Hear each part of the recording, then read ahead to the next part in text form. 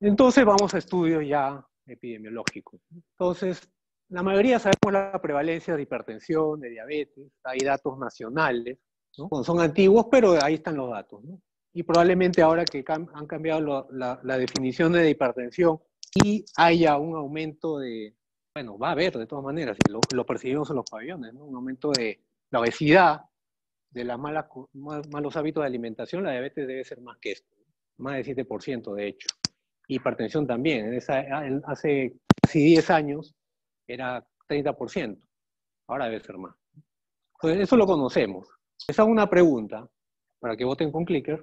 ¿Cuál consideran ustedes? No les pongo de, Perú porque no hay, no hay estadística de, de Perú, ¿no? En Estados Unidos sí lo hacen, ¿no? el Instituto Nacional de Salud ya hace sus estadísticas y está publicado.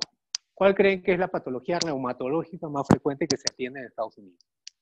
Lumbalgia, sí, es probable, ¿no? Así como la gente en España sabe más sobre lumbalgia, la mayoría de pacientes se quejan de lumbalgia, vienen a emergencia, vienen a consultorio, pero hay gente que votó lupus. Probablemente porque en el hospital ve más lupus, no necesariamente eso es cierto para generalizarlo. Osteoartritis también es una enfermedad frecuente, sobre todo las personas adultas, adultas mayores. Y fibromialgia, bueno, han votado dos, pero vamos a ver la, estadística. ¿no? Igual, solo he encontrado hasta el 2008. Probablemente haya aumentado algunas patologías que voy a mencionar, pero no creo que haya mayor variante en las demás. Entonces, ¿cuál fue la primera? Efectivamente, lumbalgia. ¿no? 59 millones en los últimos tres meses del estudio, nada más. Tres meses previos que han tenido lumbalgia, de más de 300 millones que son en Estados Unidos, es bastante porcentaje. Pues miren, de ahí dolor cervical. ¿No creen que el dolor cervical en el 2008 aparece en segundo lugar y probablemente ahora sea mayor? No, sé si a nivel de la lumbalgia, pero por encima de osteoartritis. ¿Por qué creen eso? Por el celular.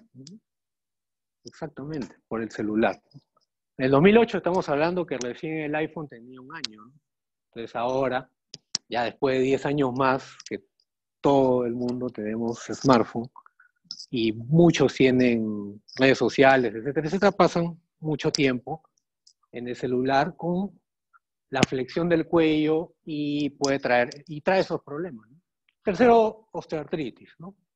Pero miren, en cuarto, quinto y sexto lugar no es lupus, no es AR, no es esclerosis, no es ni siquiera Sjogren, ¿no? Es gota, probablemente por, también por los hábitos de alimentación allá, pero miren, en quinto lugar fibromialgia.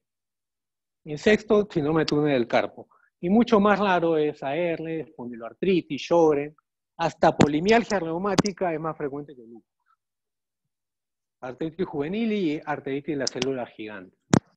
Como médicos que vamos a atender, bueno, los que somos internistas, bueno, cada internos no. No, todos son residentes, ¿sí? Ya, bueno, algunos van a ser de medicina interna. Van a atender pacientes que tienen patologías reumatológicas, pero no lupus, esos van con el, con el reumatólogo, tampoco artritis reumatoide. Lo que tenemos que aprender son estas patologías, no solo diagnosticarlas, sino manejarlas. Pues si no, a todos le vamos a dar corticoides y así no es, y así no es el tratamiento de esas enfermedades.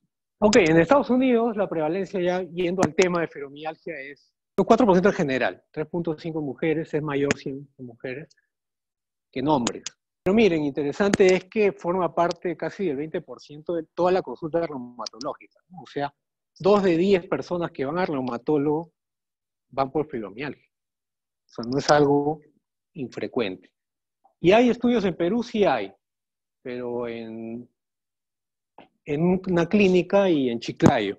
Y la prevalencia es similar, 3% en la población general, o sea, 3 de 100 tienen fibromialgia. Acá somos casi 20, no, 4, 6, 8, 10, 12, 14, 15, casi 20. Entonces, simplemente al azar, de 20, acá por lo menos uno, quizá no lo sabe, tiene fibromialgia.